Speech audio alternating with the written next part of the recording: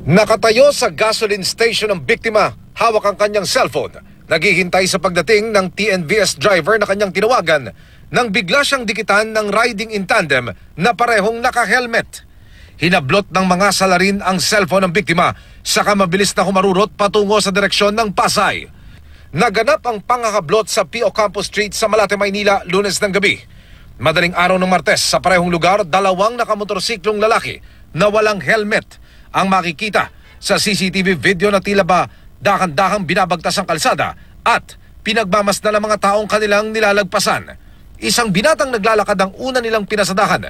Ikalawang dinikitan ang lalaking nagja-jogging. At ang huli, isang senior citizen na may dalang handbag. Tila dito nagka-interes ang dalawa.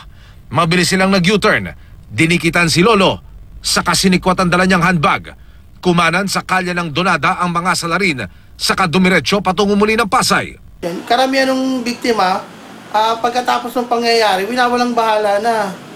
Ito rin ang problema ng barangay at pulisya, kaya raw hindi masawatan ng mabilisan ang mga krimen sa lansangan. I-report nila, gawan natin para maimbestigahan, ah, ma-profile yung mga ganyang klase sasakyan at ah, sa susunod, maiwasan. Sa investigasyon naman ng Manila Police, tukoy na raw ang riding in tandem criminals na mula sa area ng Pasay. Paalala sa publiko, lalo't papalapit na ang Pasko. Iwa, ang magnanakaw, kahit hindi magnanakaw, pag nakakita ng oportunidad, nagnanakaw yan. Lalo na yung mga riding in tandem na yan. Kaya importante talaga, number one, mag-ingat